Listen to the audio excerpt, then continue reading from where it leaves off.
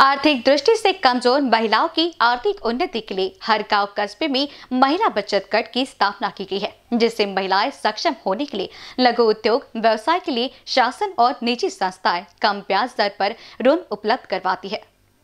पार्श्वनी police हद में आबादी बस्ती में रहने वाली महिला जो कक्षा नौ तक शिक्षित है, जिसका नाम पूर्णिमा दिनेश धुर्वे बताया जा रहा है। इस महिला ने पार्श्वनी शहर के साथ ग्रामीण क्षेत्र में बचत कट निर्माण कर प्रमुख बनी। जिसमें अनेक प्रकार के बचत गट निर्माण किए गए, जिसके तहत सौ से ज़्यादा महिला गट सदस्य बनी है। इन गट सदस्य महिलाओं को आरोपी गट प्रमुख पूर्णिमा धुर्वे ब्याज का प्रलोभन देकर गट सदस्य के नाम से ऋण फॉर्म पे साइन देकर खुद ही पूरे ऋण की राशि अपने पास रखकर उस पर ब्याज लेने का लालच पूर्णिमा धुर्वे किया करती थी, जिससे महिलाओं में ब्याज का लालच पनपता देख गट की ज़्यादातर बचत गट महिलाओं से इसी तरह ऋण का पैसा पूर्णिमा हड़पने का काम करती थी। वही पूर्णिमा ध्रुवे बचत गट महिलाओं से अच्छे संबंध बनाए हुए थी। वही बचत गट महिलाओं का पूर्णिमा पर भरोसा होने से पूर्णिमा ने बचत गट की महिलाओं से उनके गहनों पर भी ब्याज देने का भरोसा दिया। इसी तरह ब्याज के चक्कर में बहुत सी महिलाओं ने अपने गहने पूर्णिमा को भरोसे के तौर पर दिए, जो काम होने पर वापस करने का वादा पूर्णिमा ने गट की महिलाओं को देती रही, जिसकी वजह से यहाँ की महिलाओं ने अपने सोने के जेवरात, गहने भी बेझिझक पूर्णिमा को दिए जो दो साहूकारों के पास गिरवी रखने की बात पूर्णिमा ने खुद कबल की, जिसकी कीमत लाखों में बताई जा रही है। वही गट सदस्य के नाम से तीस हज़ार रूपए ऐसी लेकर लाख रुपए तक का ऋण माइक्रो फाइनेंस कंपनी, बंधन, इंसाफ और भी कंपनी द्वारा लिया गया, जो लाखों रुपए का ऋण अनेकों महिलाओं के नाम से लिया और खुद ही डकार गई। महीनों बीतने के बाद ऋण आवटन करने वाली कंपनी सदस्यों को दिए ऋण की किस्त न पहुँचने से किस्त भरने का तकाता लगाया गया, तब गठ सदस्य महिलाओं ने पूर्णिमा से जवाब मांगा तो पूर्णिमा आनाकानी करने लगी।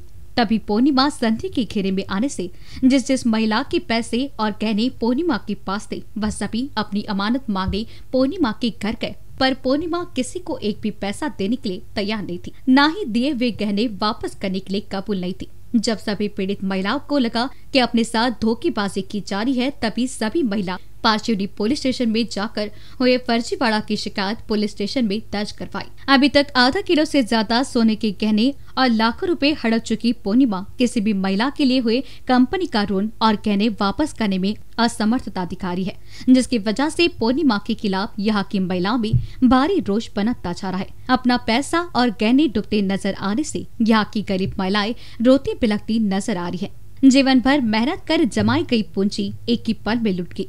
जो आज वह पूंजी मिलने की संभावना दिखाई नहीं देने से सभी महिलाएँ अपने आप पर रोष जता रही है।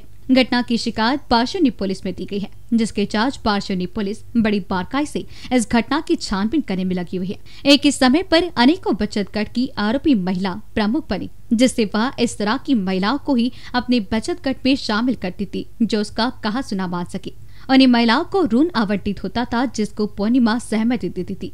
पर जिसको ऋण प्राप्त होता था। उनका सारा पैसा पूर्णिमा अपने पास रखकर संबंधित महिला को ब्याज का लालच देती थी, जिससे ब्याज मिलने की लालच से यहाँ की महिला अपना सारा ऋण पूर्णिमा को त्याग करती थी वही बचत गट की महिला सदस्यों के पास के गहने पर भी ब्याज देने का लालच दिया जाता था, जिसकी वजह से महिलाएँ अपने गहने पूर्णिमा को बेझिझक दिया करते थे पर यह सब करते समय किसी भी प्रकार के लेन देन का कोई लिखित या गवाह गवाहदार नहीं रखती थी, न ही किसी प्रकार का सबूत पीछे छोड़ती थी।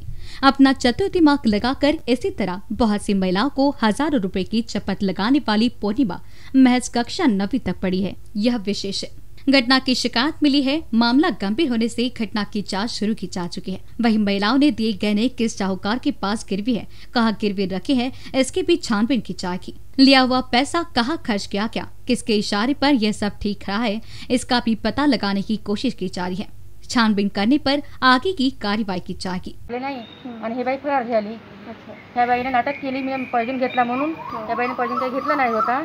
तिला मग आम्ही शोधलं तर हे होती दवाखान्यात भरती. काही महिला आम्हाला इथे पोलीस स्टेशनला भेटलेल्या आहे आणि त्यांचा असा गुन्हा आहे की सौ पौर्णिमा दिनेशजी धुर्वे ही गुन्हेगार आहे आणि त्या महिलेने या सर्वांचे पैसे फसवणूक केलेले आहे. हे पैसे म्हणजे मायक्रो फायनान्स गटातून या सर्व महिलांच्या हस्ताक्षराने तिने काढून घेतले आणि तिने त्या पैशाचा दुरुपयोग केलेला आहे. यांचे भांडे म्हणजे सोन्याचे काही भांडे पण आहे ते गहाण ठेवून तिने पैसा जप्त केलेला आहे.